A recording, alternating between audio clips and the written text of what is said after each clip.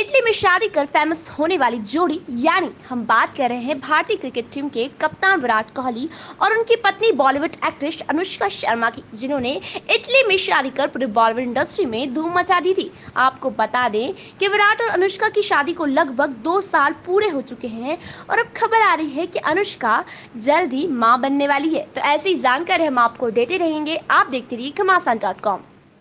Subscribe our channel and press the bell icon for more updates.